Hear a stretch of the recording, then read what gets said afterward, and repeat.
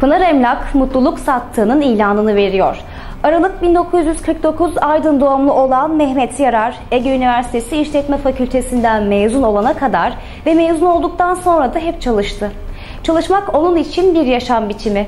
Dikili Tarım Kredi Kooperatifi Müdürlüğü'nden emekli olduktan sonra Nisan 2001 yılında Pınar Emlak kurdu ve bu 15 yıllık süreç içerisinde İzmir Emlakçılar Derneği Yönetim Kurulu üyesi ve aynı zamanda Bakırçay bölgesi temsilcisidir.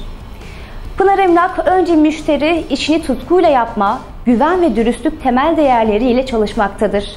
Bunun tek sebebi ise Mehmet Bey'in çalışma disiplini ve başarı odaklılığıdır. Pınar Emlak onun göz bebeği, müşterileri ise misafirleridir. Mehmet Bey Pınar Emlak mutluluk sattığının ilanını veriyor diyor ve ekliyor. Gelen herkesi sonucunda ev sahibi yapıyoruz ya da evini satan için de başka bir gelişmenin mutluluğuna sebep oluyoruz.